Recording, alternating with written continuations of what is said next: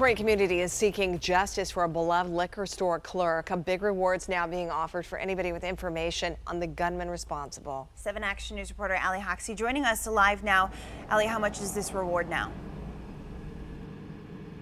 Well, the Midwest Independent Retailers Foundation is offering a $10,000 reward for anyone who can point to the direction of those responsible as long as they are arrested and convicted of this crime. 77-year-old Louis Putras was robbed at D&D Liquor Store on Schoolcraft Saturday night. Police believe there are multiple people responsible. They say one man demanded money and that a witness saw a second man approach. From there, the witness tells police he heard two to three gunshots.